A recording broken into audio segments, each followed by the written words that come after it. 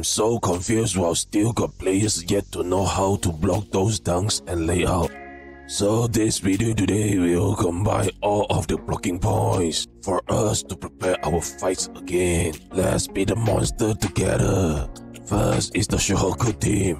Rukawa first down blocking point is when he is reaching his vertical peak, then block, which means his head crossed the red line that show in the video, and block. Positioning is under the basket. Rukawa's second down's blocking point is when he is holding the ball with both hands at his stomach's level, then block. Positioning is the same, under the basket. Next is Rukawa ankle breaks down when we heard our teammates shouting in pain and we need to see Rukawa's hands. Rukawa both hands holds the ball block. Positioning is under the basket. X is his fadeaway. We need to position ourselves to stick to Rukawa. Need to follow Rukawa to jump at the same time. Next is Miyagi flashy layup. The blocking timing is when you see him flash, immediately jump, positioning still under the basket. Miyagi swiftly layup blocking timing is after the dash move, see he is jumping and immediately jump also. Positioning will be following his layup position. Next is Akagi dunks. Just when you saw he is stretching his hands and legs to his maximum level and going to reverse back and block. Positioning is under the basket. Next is the Sakuragi for the win layup. When he is flashes with yellow aura. Count 1 2 then block. Next is Mitsui normal jump shot. After you see him jump in the air, then you follow him to jump. Positioning is the corner of the fan shape area. Next is Mitsui step back. The blocking timing is when he pulls the ball to his head level and we have to jump. Next is Mitsui fade away blocking timing. And we saw the ball at his head level when he is fading in the air. Best positioning is stick to him as close as possible. Next is the Mitsui turnaround layup. After he finished turnaround, we have to jump. Positioning will be under the basket. Next is our Yosaki. After you seeing him finish the spin move, when he pulls the ball at his head level and jump, follow him to jump. Yosaki pump fake and shot. After you saw him finish the pump fake, follow him to jump too. Both positioning will be the same. Just need to follow his spin move direction. Next is Kakuta spin spin spin layup. After Kakuta finish the spins and his body start to lean forward and block, the positioning is around him.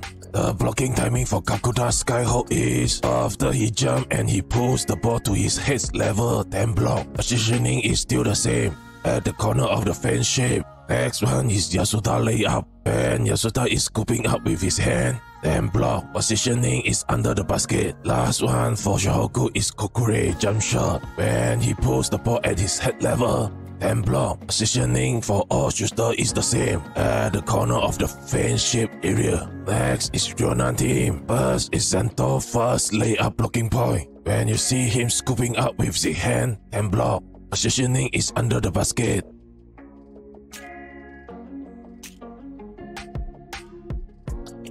Sendoh's double pumps layup blocking point is after he changed the hand and scooping out with another hand, then block. Pretty easy. Positioning is following him. Next is his jumping jelly layup. We need to follow him after he did the one-two step and jump. Then we have to jump to block. His jumping jelly double pump layup blocking point is same as normal double pump. Also need to follow his direction. Next is his negative angle layup. The first point layup blocking is the same. When you see his hand is scooping out then block. We need to put more attention to his negative angle double pump layup. We must follow him to the red line in the video and wait for him to change hand and scooping up again then block. Next is center fade away. The blocking timing and position for any fade away is the same. Just stick to him as close as possible. Next is Uekusa layup blocking timing. Count 1 2 when you see his layout hand is straight and block. His layout timing is lower than others. So we need not too eager to block it. Next is Koshino layup blocking timing. After he changed his hand to do the layup, then block. Next is Koshino fade away. Same, same, same concept. Next is our Ryoji Daddy. His pump fake shot shares the same concept with fade away shot. After he did the pump fake move, he jumped, then you jump. Positioning is stick to him.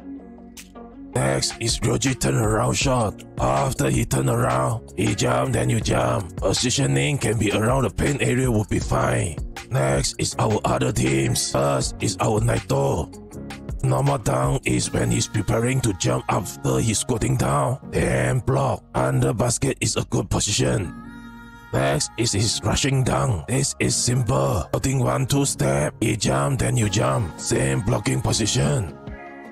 Next is our Kengo. His first time blocking timing is the same as Naito. After he's got down and preparing to jump, then you jump. Same is under the basket. Sendoh's second blocking point also share the same concept as Naito. After he's got down second time, he jump, then you jump. Last representative of today's guest is our Hanagata. His first turnaround down blocking point is when he finished turnaround and block.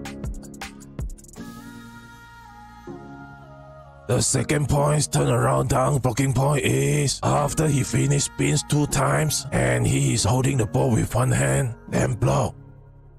Next is his turnaround shot. After he finished turnaround, he jump and you jump. If you find you are still unable to block, try to adjust it to the hints given. After you feel the block, why will be like this? Because not all characters are using the same abilities and traits, jumps and blocking abilities to help in blocking. If you enjoy the content, please hit the like button and subscribe my channel. Thank you guys. See you. Bye bye. I will be back.